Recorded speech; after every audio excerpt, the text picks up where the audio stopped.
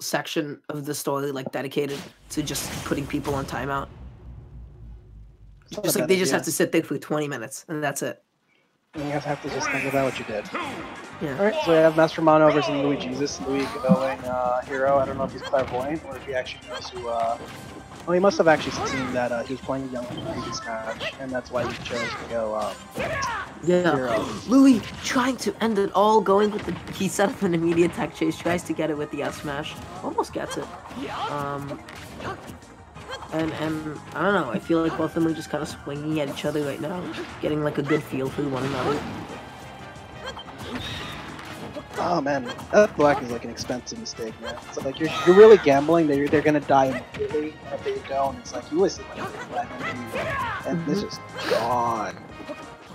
Which is, I really like the way that, that Master Mono is using his boomerang to sort of cover his up Bs. He's making them seem like a lot safe. He's making them really, really safe. If Fluey gets too hasty and greedy with his punish, he's gonna get hit by the boomerang on its way back.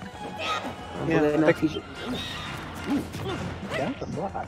The big thing with uh, with Young Link, especially with his uh, up B, is that you don't have that much of a window to really punish it, and if you misspace it at all, you can eat like, actually a pretty decent amount of damage, if not die. So you want It's to like be careful. 30 something, right? Like the up B into up. Yeah, it does. 30 something total, but even if you just get hit by like the last like hit into the up air, it's gonna be a solid like 18, 20 percent. And you're still gonna be above Young Link and you still have to find a way to land. And that's, that's its own mess on its own. But Master Mono finally able to find the forward air to take the stock. Uh, Lui, you know, spending. I don't know. I like the way that he's maneuvering, like the platforms with his uh, up B, but I'm not really sure what the use of it sometimes is. Well, if he manages to hit Master Mono, you can generally confirm into uh, into like smashes and tilts with it, Mhm. especially like if you land on the platform with him. I thought that was like a Uh, town and city thing mostly. You can do it. You can do it on PS2 as well. It's just the timing can be kind of tough. But I think he's mostly using like the panic button to get out it's a sudden burst of upwards movement. hmm And if he tries to punish the spot that you're standing in, that he's actually gonna like do some damage. And he's He's getting alive. He drifted to the right. That was really, really smart. If he was any closer to the left, he would have most certainly pineappled. Um, I, that was really nice. Pulling up the menu like that just sort of forces Master Mono to completely halt all sort of, you know, any any kind of edge guarding or ledge trapping attempts. Um, because of like the pressure from the flame slash. Okay, good bounce. Good bounce. That's gonna give him a little bit of extra pressure to work with. Like it's just gonna be so so helpful in just like making sure. Like like look what, what is that boomerang gonna do? Nothing. Absolutely nothing. Uh, Yeah, but like uh, Lui is giving him a little bit too much space to work with here. mhm. Like especially like when he has uh when he has bounce, he should be trying to like exert pressure because that means that the big confirms that human tends to rely on aren't really available to him. But he's not like taking advantage of that. Yeah, I'm gonna run right into the forward throw. Uh, this is still like really, really close game. This could still go either way. Chris Lui has to find a way to be able to take the stock. Um, I feel like he's a little bit too focused on like pulling menu when he is ledge trapping. Um, and as a result, Mono is just able to get back onto stage uh. But that's gonna be the lead grab. No punish. Yeah, Hero can have a tough time punishing uh, regrabs on the ledge if he doesn't have uh, a menu option ready to go. Just because uh, most of his uh, options hit the ledge are either really weak or they're just kind of on the slow side. Well, the bounce animation while Hugo's getting hit by Young Link's up is hilarious because the circle stays in place, but you just see him spinning. Oh, he's dead! No! This man had all the speed in the world and he used it to go directly into the blast zone. Young Link wins. Ah, he's, this poor boy. Alright, that's game one. I have, you know what? For Lui's sake, I have my slime plushie on my lap, cheering him on. I mean, well, who knows? Maybe he's about to go. Uh, He's about to go about Wii to Fit, go I'll take out, Fit. I'll take out my Ring Fit, and I know what you're gonna say. You're gonna say, you know, it's a different game. And I'm to that, gonna I'll say, say, that uh, Drago for Smash. That's all I'm gonna say. oh my god, I, I can talk about that for a long time. I really think, I really think the Ring Fit fella would be a, an amazing fit for Smash. I think I think that dude has like so much potential, so much like so many little bits of design that could be made into fully f- fleshed out moves. I, mean, I don't know about that. Yeah, he's going he's going Wii Fit, and he's going numbers color. Interesting. This man's gonna channel John Numbers through his soul into his controller to carry him to victory. Um,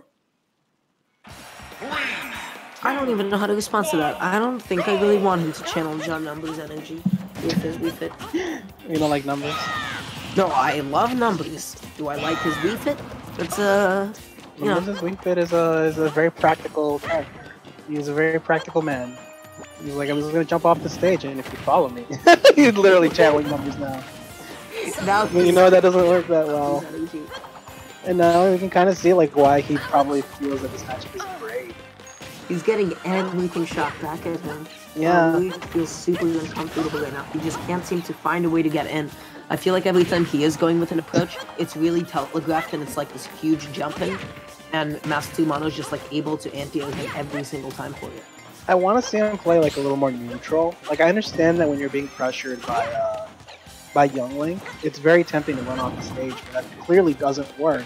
Because Young Link can fill so much space with all of his projectiles, it's just going to make it so that you're going to have a hell of a time getting back onto the stage. He's not going to bite the bait. He has literally Oh no reason to do so. Yeah. Also, are you suggesting that you can't play neutral from off stage as Wii Fit? 100%. Interesting. I mean, not on this matchup, clearly. Because it's Also, I love the fact that F tilt just traded it with Young Link's grounded up beef. You see, like Master Mono, like he seems he seems confident right now. Like Lui, I feel like he's just running into things. He's not being as patient as he could be sometimes.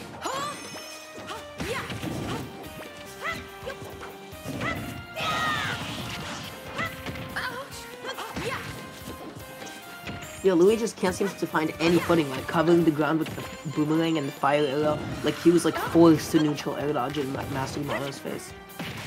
Master Mono's doing a good job of just making Lui so uncomfortable in the air. He can't find any space for himself to land. Yeah, I don't, I don't really know what Lui can do in this matchup. Just because it's like, if he pulls out the soccer ball at any point and it's not 100% safe, he's gonna have a really tough time uh, making up the space that he loses from it. And Sun Salutation is like a good move, but it's not gonna get him to kill if uh, he's not allowed to charge it properly. Yeah. I feel like Lui right now, like he's maybe like a little bit frustrated. He's starting to force his approaches. I see him just like now he just wants to get something started. He's jumping right into Master Mono, trying to get a landing. Not even gonna try to punish that lift up B. Just goes right through the deep breathing instead. Well, dude, and he had Sun Salutation too. He could have just let it rip. It was fully charged at that point. That's uh, not great, unfortunately. Yeah, this match seems to be kind of snowballing right now. Because it's like you have to play on Young Link's terms. Like you're not uh Soccer Ball is usually like a super huge uh it's a huge asset to Wii Fit trainer because she's allowed to Whoa! What? I don't think I've ever seen that kill like that. What just happened? He down tilted, he did deep breathing down tilts. Oh, Oh, and you're not allowed to air dodge below the stage on PS2. That's just instant. Win. Okay, Well, good job to uh, Master Monkey. Or Master. What was his name? Yeah, it was Master Monkey. Good job, dude. And the Slick 2 0.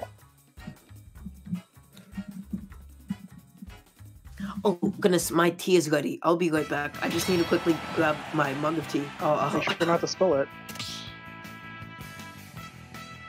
You know, by saying that, you actually increase somebody's chances of spilling it. You do know that, yes. You need to focus on your tea as opposed to whether you spill it or not. Now, now I'm actually just like really creative, and I don't want to spill tea all over my computer. Jesus, okay, I'm sorry. You're making me second guess myself. This is your fault. I'll be back in a couple of minutes. I just really want to grab my tea. One second. Enjoy your tea. Hey guys, if you're enjoying uh, what you've been watching, super kind of chill XeNOwifi 8, oh god, this is good one. Um, hopefully many, not hopefully many. I really want to get back to uh, to doing the regular Xeno weeklies, but uh, this has been really fun, guys. And to everybody that's been tuning in, thank you so much. Uh, if you haven't followed yet, please so it really helps us out. And if you could give us